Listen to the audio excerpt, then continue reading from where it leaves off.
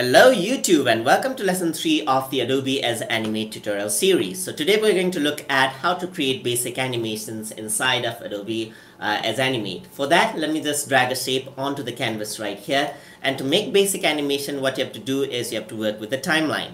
So in order to uh, start adding animations you, you should create a keyframe over here. So now I want to add in a keyframe onto the position.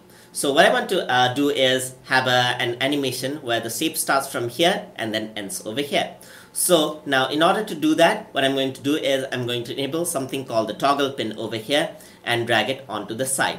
And then just drag the shape across and you can see that the animation actually just happens. So if I were to play the animation, you can see the animation actually happen.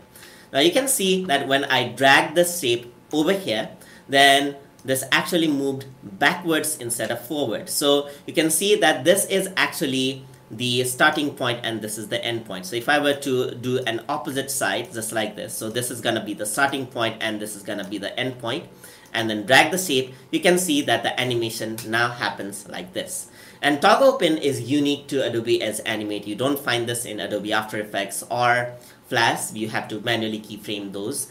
Uh, this is uh, this actually makes animation very very easy. There's a manual way to animate as well. So if you use the toggle animation right here, then all of the animations that you do actually uh, adds in a keyframe automatically. So if I were to zoom this in, let's say I want to rotate this out as well, just like this. So you can see that the beginning and the end toggle actually uh, just happens just like that. You don't have to manually add in keyframes to all of the properties. So if you want to add in manual keyframes, so if you don't know what I'm talking about, then is uh, let's say for example, if you want to move from left to right, then you have to toggle on the keyframe for the uh, um, for the origins over here. So if I were to uh, drag this in, over here you can see that x that x is being animated. So let's say for example if I just want to access the animate the x-axis I have to add in the keyframe to x-axis let's say I want the animation to start from uh, this section. Just press keyframe on x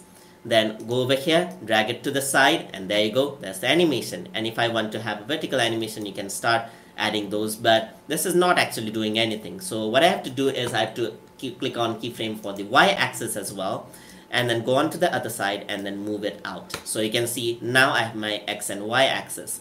Similarly, if I want to add in um, elements to any of the other things right here, for example, skew, let me click skew over here. You can see that the skew animation is there. Let me drag it to the side uh, over here and change the skew and you can see that there's a bit of a skew animation just like this. So you can manually add keyframes as well and also automatically add keyframes by using the toggle pin option. So that is how uh, you can uh, use toggle animations. You can make animations and add in keyframes inside of Adobe uh, Edge Animate. Hope you guys learned something as always. And as always, please like, comment, share, and subscribe.